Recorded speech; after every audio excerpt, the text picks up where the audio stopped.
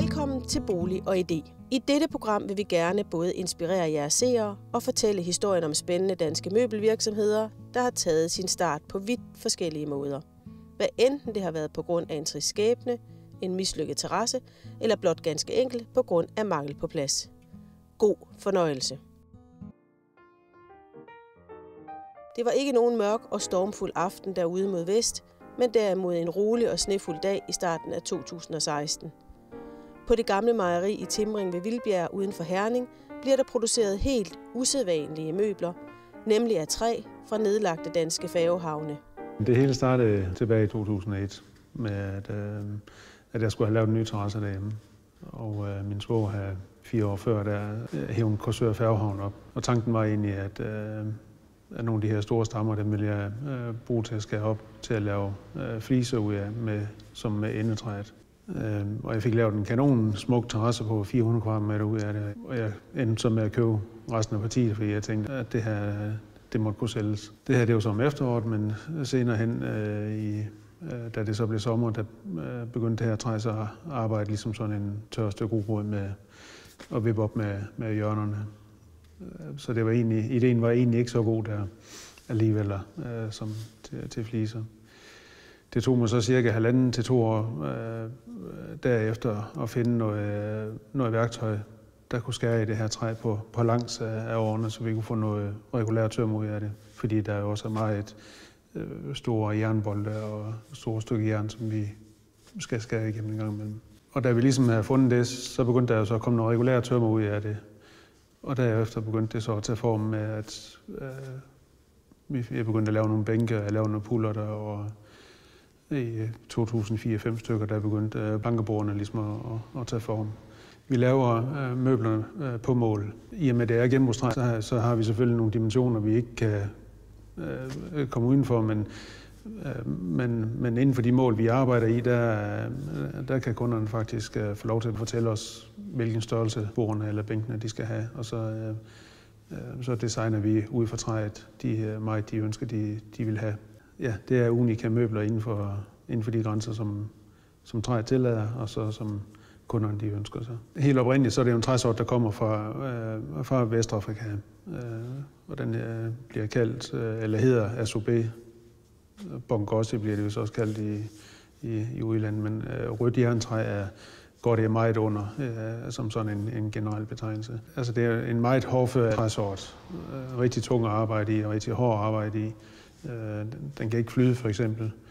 Øh, hvis man tager den fra, øh, direkte fra regnskoven og tør den ned til hvis man vil bruge den til møbeltræ, som ikke er normalt at gøre, men som vi så gør, men, men der svinder den faktisk øh, 17-19 procent. Fra vi skærer den op nu her, der, der mangler den at svinde omkring, øh, omkring 8 procent eller sådan noget, selvom det er hængt i, i havnen i 60-70 år. Svinder det først til sidst, når, faktisk når vi skærer det op. Vi har mange kunder i, i, i alle afskygninger, men, øh, og det er alt fra private til øh, større virksomheder, restauranter og til det offentlige. Små vinbarer, det er større, større restauranter, det kan være øh, rigtig store virksomheder, der har en øh, personalterrasse, der skal øh, øh, møbleres. Øh, det kan også være øh, kantiner, øh, hvor de vil have anretterbord, eller bare vil have øh, et par bord til at lægge stilen anden, eller det kan være, ja, vi har prøvet et, et, et 14 meter langt øh, konferencebord øh, i et øh, uh, IT-virksomhed, og Ja, så, så der er ikke, man kan sige, der er ikke nogen branche som sådan, øh, at vi ikke er i, i berøring med. Det startede jo der i 2001 med, med, med Korsørhavn, og siden da, der pt. der er vi oppe på 5. havn. Vi har startet med øh, Korsør, øh, Kalundborg, Gæsser, Rødby, og nu er det så fra, fra Knusvøde øh, Færgehavn. Og vi har hentet, øh, tre af dem har vi selv hævet op og skilt alt det der, og, og vi fragter så det hele hjem øh, til savværket. Det ligger så ja, 800 meter fra vores eget værksted, så faktisk al vores produktion og, og vores underleverandør, det ligger inden for en radius af, af 8-10 km. Men alt, øh, ja, vi får, får lavet alt, øh, altså sådan øh, savværket og, og stål og overfladebehandling, det får vi lavet ude i byen, men, men alt finishen og samlingen og og udviklingen, den har vi på, på vores egen øh, eget værksted. Vi har oplevet et, et ægtepar, der, der flyver fra London til Billund og leger en bil og kører herop på mejeriet i, i Timring og køber to borer, som de skal have leveret i Marseille. To år senere flyver hjem igen, og de ville have, at jeg skulle komme ned og montere den, og det øh, gjorde vi selvfølgelig også, og det, øh, det tog et par dage, fordi han havde, det ene bord skulle stå i, Øh, i hans nybygget vinkælder dernede, eller nye restaureret øh, vinkælder var det. Og han havde en helt speciel vin, som jeg skulle smage på dernede, så det trak lidt ud. I februar var der som sædvanligt den halvårlige fagmesse Formland i Messecenter Herning med et hav af inspiration til boligen. Vi var rundt på udstilling og bringer her et lille potpourri af indtryk. Vi lægger ud med en tysk udstiller, der præsenterede en både rummelig og fleksibel flyde ud stol. Den kan enten være i frigear eller låses i fast position. Til den ene side fungerer den som stol, og i modsatte side er der mere benplads, så den får en sofa-funktion. Og så er der ovenikøbet plads til to personer. Også fra Tyskland kom denne producent, der bød på stole med tryk. Så har man et kunstværk, et billede eller måske et portræt af børnene, kan disse komme på stolene. Det er ikke en folie, der lægges på. Fotografiet præges direkte på træet. En fin idé til at hæve stemningen i køkkenet eller i spisestuen. Og mens vi er ved stole, blev der også budt på flere andre varianter af både komfortable og hyggelige stole. Dejligt at opleve spirende og mindre møbelproducenter, der går deres egne veje, hvad enten det er den rå og rustikke stil eller den mere elegante stil. Vi vender senere i programmet tilbage til Formland i Messecenter Herning. Danmark har stolte traditioner inden for såvel møbeldesign som køkkenproduktion. Vi fik i Aalborg en snak med arkitekten bag en af landets mere eksklusive køkkener om, hvad der rører sig hos dem, og hvordan de ser kundernes ønsker. Her der står vi i et køkken, som øh, hedder øh, One Line. Det er et køkken, som jeg har tegnet med inspiration fra øh, de nordiske materialer. Her i Aalborg der har vi jo øh, Aalborg, eller Kunstmuseet, der lige er genåbnet efter en større renovering. Og jeg synes, det var fint at bruge nogle af de her klassiske nordiske materialer kombineret med øh, marmoren, som også er noget af det, som, øh, som man ser nede på Kunstmuseet. Og det er jo altså lyse toner, lystræ, øh, ask har vi her, en sådan hvidpigmenteret ask, en øh, lys marmor, som hedder Kalakata, og øh, så har vi en korian bordplade, som har samme farve som fronterne på den her ø her, og så messing, messing både på øh, vandhanen her og øh, flere andre steder i køkkenet. Og det, som kendetegner det her køkken, det er, at det er enormt velegnet som et køkken i en stue, hvor man gerne vil kunne lukke af for sit rod, hvis man nu for eksempel har et stort køkkenalrum. For det, man kan gøre, det er, at man kan tage de her låger, som jo lige nu udgør en lukket væg, en helt rolig lukket væg. Og så kan man simpelthen åbne dem og skyde dem ind til siden. Og så får man altså denne her kogeniche herinde bagved, hvor der sker en masse ting. Dels så, så sker der jo det, at man kan stå og lave mad og rode, og når man har gæster, så kan man lukke, det, lukke al servicen inden igen, og gryderne og potterne og panderne. Men der er altså også et, et helt andet, øh, ja, der er en detaljerigdom herinde, som jeg synes er sjov. Øh, man har en hylde heroppe, hvor man kan stille noget på. Man har de her marmorpaneler, som skjuler et øh, lysbånd, der ligger om bagved, og kaster noget lys ned på den her flade. Og det er jo alt sammen noget, der er med til at give noget, noget, noget liv og noget sjæl, at der er denne her øh, detaljerigdom. Og så har vi en bordplade, som øh, forsvinder op som bagpanel, og dels er en form for stænkpanel, men altså også giver noget, noget forskelligt liv på bagfladen. Den her bordplade, den er 10 cm tyk, så det er jo virkelig en kraftig bordplade, som giver noget kant til køkkenet her. Også når lågen er åbne, så er den også synlig. Og igen et øh, øh, blandingsbatteri i messing, som er en af de her materialer, vi har arbejdet med i det her køkken. Så er der nogle af de ting, der sker bag lågerne. Udover at vi har den her, øh, de her låger, der åbner op for den her store kogenisse, så har vi altså også en parallel låg, som vi kalder det her, hvor man så har en, øh, jeg skal se, om jeg kunne lukke den, hvor man så har en, øh, en ovn og en kaffemaskine, og der, der kunne i princippet stå alle mulige maskiner herinde. Men øh, det er med til at give et meget roligt udtryk til køkkenet, at man får lukket alt det rod inden, som er bag lågerne. Og vi kan lige lukke den igen. Nu skyder man simpelthen bare ind til siden, den her, så den ikke fylder noget, når den er åben. Så har vi også en meget skæg ting her, sådan en lille øh, pussy ting med, øh, med en hylde, man kan vippe op her. Og den kan man for eksempel bruge til tunge køkkenmaskiner. Så når man har en, øh, en dej, ælte dejmaskine, man gerne vil bruge, men ikke gider have stående fremme, så bruger man bare den her hylde her til det. Så kan man lige skubbe den væk, når man er færdig med at bruge den. Øhm, og øhm, generelt for det her køkken, så har vi jo nogle, nogle, nogle meget øhm, raffinerede detaljer omkring øhm, øh, Øh, grebene, som er gennemgående på skufferne og på lågerne. De går altså igen hele vejen. Og når man så har en, en gavl, som vi har herover, så slutter vi den af med, at øh, grebet lige går ud og lukker af og ligger af på gavlen. Og det synes jeg også er en rigtig fin detalje i det her køkken. Over på den anden side her, der har vi de her gennemgående øh, vandrette linjer. Øhm, og dem behøver, dem behøver man jo ikke at bryde, bare fordi man har en opvaskemaskine. Så øh, den er jo bare skjult bag en front, hvor linjerne går igennem hele vejen. Ligesom de også gør foran vasken, hvor der egentlig bare er en fast front, der ikke kan åbnes lige foran vasken. Bordpladen, som er i korian, den kan man jo lave i en meget, meget tynd plade. Den er kun 12 mm, og den er lavet på en måde, hvor den har sådan et svævende udhæng ud over fronterne. Og det gør, at den ser meget, meget let ud, og øh, lad de vandrette linjer være dem, der er de dominerende i det her køkken. Tilbage til Formland i Herning, hvor der var mange spændende og fremtrædende udstillere, og hos Rikitiki var der flere mærker, og især bemærkede man de mange elefanter, der også var placeret flere steder på udstillingen og nogle af dem i imponerende størrelser. Her er et bud på, at navneskiltet til huset bestemt ikke behøver at være kedeligt. Designeren bag disse glasskilte fortæller her. Vi har glasskilte, som er med LED-lys, som er lavet individuelt, hvor man kan få tilpasset helt, så det passer ind i den størrelse, at man har behov for ved huset. Hvis der lige er ved siden af en dør, at man har, der kan lige være 21 cm eller noget, så er det altså muligt at få få designet helt på individuelle mål. Og skiltene, der er mulighed for at få med LED-lys, hvis man gerne ønsker, at det skal kunne lyse op og være synlig på rigtig lang afstand. Og ellers så er der mulighed for mange forskellige designs, motiv og tekst osv., at vi har på, på skiltene her. Det er brændt fast i glasset, hvor det kommer op ved en temperatur på ca. 800 grader, og det gør altså, at tekst og andet motiv, det er utrolig holdbart. Det er ikke noget, som falmer eller vil skal af i al slags vejr vind. Det holder.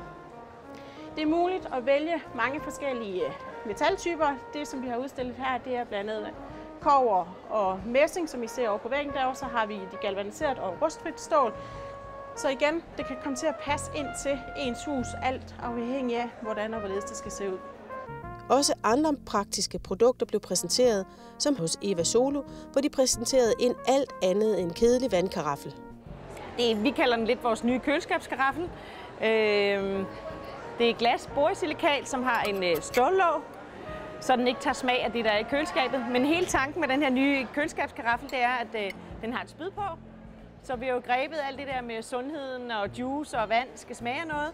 Så på, den her, på det her spyd, der kan du sætte frugter som øh, ananas, mango eller lime eller sukker i at lave til mojito, eller hvad man nu synes, der kunne være sjovt. Og så står det ellers i køleskabet og trækker i de her par timer. Og så er den ellers klar til brug og drikke. Og ja, man kan fylde vand på den igen og stille det igen i køleskabet. Og frugterne sidder stadig på spydet, så det er jo øh, stadigvæk for smagen af vandet der. Ikke? Så det er jo dekorativt, og det er flot, og det er, det er super ind og smart. Der har de lavet nogle forskellige opskrifter i samarbejde med Louis Lorraine. Øh, ja. Og hvis man tænker, ah, det er lidt træls med frugt på og bruge det på den måde, jamen så kan du bare skrue spydet af og bruge den som almindelig køleskabskaraffel med vand i. Ikke?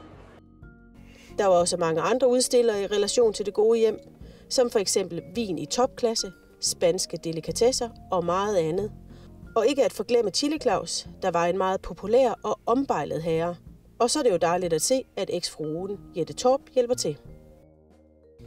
Vi mødte også et par gutter, der havde fået en pris. Så sidste år var vi en del af Nordic Boss, som så ligger oppe i Halk nu her. Og øh, der var vi så heldige at vinde Nordic Boss Award, som øh, så gav os en øh, 12 kvadratmeter messestand den her gang. Der landede vi en masse nye forhandlere og fik også en masse fin presse. Og øh, ja, det samme den her gang nu. Det har været helt super. Ja, og så er vi jo så, er vi så tilbage. Vi har brugt et halvt år på at jamen, ud og videreudvikle vores øh, produkter. Øhm, så der er sket mange ting siden sidst. Øhm, tingene er blandt andet kommet i produktion nu, så vi egentlig er klar til at modtage nogle af de her interessante store ordre, og øh, det er faktisk lykkes, øh, nærmest imod alt forventning, at, at få landet nogle, øh, så sent som for en halv time siden, en svejsisk agent, som, øh, som tager hele vores øh, sortiment med til Schweiz på, øh, på mandag, faktisk. Så det er lige præcis noget, vi er ude efter. Hører du også til de mange, der mangler plads i din bolig, så se med her. Den danske importør af disse senge havde ingen kvaler med at finde navn til sit nye firma, nemlig Smart Seng. Sengene fås i mange afskygninger, og så de oftest fremstår som skabe. Sengene slås ud og pakkes væk på blot 5 sekunder og kan fås i mange farver og forskellige størrelser, så de kan passes ind i stort set et hvert miljø og til et hvert behov. Sengen fås også med indbygget sofa og puder og magasin under sædet. Denne version kan både stå op ad en væg og bruges som rumdeler med f.eks. sofa på den ene side og kontorbord på den anden. Der fås også en version med indbygget kontormiljø, der på 5 sekunder kan pakkes væk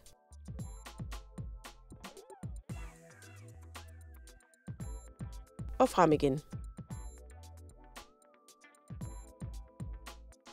Skal en dobbeltseng fylde mindst muligt, kan man vælge denne version med en dybde på blot 32 cm.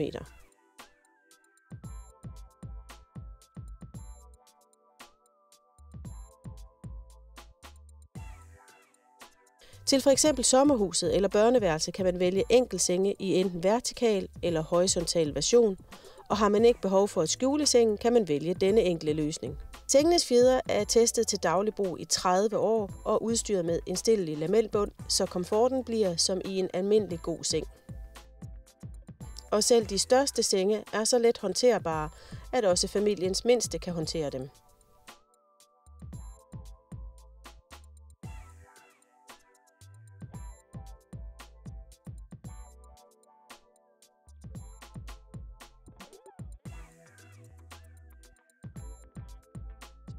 Og apropos pladsbesparelser.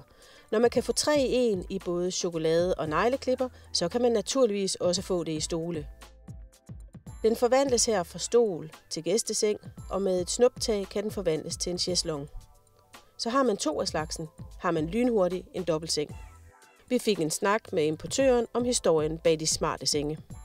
Vi har fire hjemmeboende børn, og pladsen der var knap, og jeg var ude og søge på markedet, hvad man kunne finde af forskellige sengeløsninger, blandt andet, og søgt højt, og jeg søgte lavt, og kunne ikke rigtig finde noget, som der passer til os i hele Danmark. Øh, og det kunne ikke rigtig passe, øh, og jeg søgte udlands, og jeg stødte på de her senge ved et udlandsfirma, og tænkte, det var lige sagen. Det var lige os, og det passede til, til vores lille hjem, og jeg synes, det var en rigtig, rigtig smart sengeløsning og begyndte at spekulere videre på øh, koncept, om det kunne være noget, øh, som man kunne bruge. Jeg kunne ikke forestille mig, at vi var det eneste familie i hele Danmark, som der havde et pladsproblem. Og ideen udviklede sig herfra med, at vores eget lille hjem kunne indrettes med nogle pladsbesparende sengeløsninger. Og så til, at øh, jeg gik i gang med det, som jeg laver her i dag. Man kan sige, at vores sengeløsninger de passer til alle hjem. Der er selvfølgelig nogen, som der er meget behov for sådan en sengeløsning. Det vil sige små lejligheder, studielejligheder, små værelser i det hele taget. Det kan være sammenbragte familier som min egen. Det kan være hotelbranchen. Det kan være sommerhus. Ja, you name it. Der er ingen begrænsninger på. Det eneste, man kan sige, hvor vil du gerne spare plads? I Aarhus forstaden Rigskov ligger et relativt nystartet eksklusivt møbelhus, Designgaragen, der så dagens lys på grund af en noget trist skæbne. Ja, det startede egentlig med, at vi havde en fælles kammerat, som hed Johan, som var kraftsyg. Tommy og mig mødtes igennem Johan. Vi kendte ikke hinanden på det tidspunkt særlig godt, men Johan havde en fornemmelse af, at vi ville passe rigtig godt sammen, og vores familier ville harmonere godt sammen. Øh, så en af Johans sidste ønsker, det var faktisk, at vi skulle bevare kontakten, Tommy og mig. Øhm, og det gjorde vi så. Og vi havde vi har haft en fantastisk tid sammen med vores to familier. Og derfor var det egentlig helt naturligt, at vi løbende snakkede om, om vi kunne lave et eller andet forretningsmæssigt sammen også. Øh, og vi havde forskellige idéer på bordet, og ja, tiden gik, men en dag så ringede Tommy så til mig og sagde, at nu har han fundet en god idé. Han har overtaget en hjemmeside, som solgte øh, designmøbler. Og i og med, at Tommy var gammel møbelmand, og jeg havde en naturlig passion for, for møbler, så, så lå den lige til højre benet. Så det faldt os helt naturligt at sige ja til det. Og vi startede stille og roligt op og fik udviklet hjemmesiden, og det kørte egentlig forholdsvis roligt og godt. Men øhm, efter en periode, så kunne vi godt mærke og fornemme, at kunderne de egentlig gerne ville ud og se, se møblerne og, og mærke dem og, og snakke med dem, der stod bag. Fordi det var en forholdsvis dyre møbler, vi sælger. Øhm, så vi besluttede os for at holde udkig efter en location, som vi kunne bruge som, som et showroom, hvor vi kunne få møblerne ind, og folk kunne komme ud og lugte til dem og mærke til dem. Øhm, så vi holdt øje i en, ja, en god periode, hvor vi kunne ikke rigtig finde noget. Men en dag så kører Camilla, Tommys kone, forbi herude på Nordre Strandvej, og så ser hun det her gamle værksted. Og der er vi bare hugt alle sammen med det samme. Vi kunne med det samme se mulighederne, at det kunne blive super, super fedt. Det var et gammelt værksted, og det var helt råt med cementgulve og olie. Og så der, vi har lagt et kæmpe arbejde i det, og vi har lagt nye gulve, og vi har faktisk gjort det hele selv. Og gipsvægge og formalet. Og, og nu er det faktisk blevet super cool med, med de gamle vinduer og to plan. Og, så det passer rigtig godt til os, og beliggenheden er super god. Øhm, og det, det er egentlig sådan, det startede. Og så har vi sådan haft en målsætning om, at, eller forretningsidé om, at vi vil gerne satse på, på de lokale møbelarkitekter. Og så vi er sådan, vores leverandør ligger egentlig omkring Aarhusområdet, og det har vi sådan holdt fast i, så godt vi nu kan. Øhm, og, og det har fungeret fint. Og så har vi haft en, en målsætning om at bygge det stille og roligt op, og snakke med vores kunder, og fornemme, hvad det er, de egentlig efterspørger. Øhm, så, og det har egentlig fungeret, fungeret rigtig godt for os. Øhm, og nu sidder vi her i dag og har egentlig en, en dejlig butik med i Rigskov, som, øh, ja. Da vi overtog det, der gamle der hed Møbelarkitekten, øh, var det jo primært øh, gamle møbler. Øh, hente dødsbo, renovere møblerne og sælge dem videre. Og øh, da Christian og jeg begge to er i, i jobs ved siden af, han er håndboldspiller, og jeg er, er sælger i, i en anden branche, så, så var tiden simpelthen ikke til det. Samtidig med var det utrolig vanskeligt at få øh, kvalitative møbler i, i det, vi gerne vil sælge videre, øh, uden at øh, på nogen måde kunne ja, hvad hedder sådan noget, og, og dokumentere, hvor alle ting kommer fra. Det var, det var nogle gange vanskeligt, og øh, det er svært for os at stå og skulle sælge noget videre, hvis vi ikke kan dokumentere, hvor det kom fra. Så det blev mere og mere, at vi blev enige om, at der var noget besværligt det her, og tidshorisonten med at renovere møblerne begyndte at blive svær. Og øh, så snakkede vi om, at det kunne være rart, også kunderne spurgte om, når de kom, så var det en enkelt ting, de ville have af en gammel klassiker. Øh, men mere og mere nye ting, de får efterspurgte. Så derfor var, var, var snittet ret let. Og, og så blev vi enige om, at vi er så lille, og derfor ville vi være meget lokale. Så vi tog fat i dem, jeg kender fra, fra tidligere i møbelbranchen. Jeg tog fat i Andersen Furniture, som de hedder i dag, og, og, og Naver-kollektionen, som jo er rigtig lokal herfra. Og belysning var der jo værpand i, i omkring Horsens. Vi har også nogle engang været ude hos kunder, og vil gerne gøre det mere, altså, hvor vi tager ud og kan hjælpe dem med indretningsforslag. Vi har som sidste nye tiltag øh, en arkitekt, som hjælper os øh, med åbningstiderne torsdag og fredag hernede. Så der har vi en arkitekt, og vi har den kapacitet til også fremadrettet at kunne lave opgaver både til privat og erhverv i området. Så det er sådan næste øh, skridt på vejen. Altså, principielt så har vi jo, vi har jo en kæmpe plan, og vi vågner hver dag med gode idéer. Øh, men, men vi tager lige et, et skridt i gangen, fordi det er som sagt noget, vi gør ved siden af. Øh, I hvert fald så længe Christian ikke spiller håndbold. Lad os se, hvad der sker, når han, øh, han engang stopper. Han er jo ikke så gammel endnu, så, så han kan jo nok spille nogle år endnu. Øh, lad os se, hvad, hvad der så gør. Men vi tager én ting ad gangen. Det var slut for Bolig og Idé. Tak, fordi I kiggede med.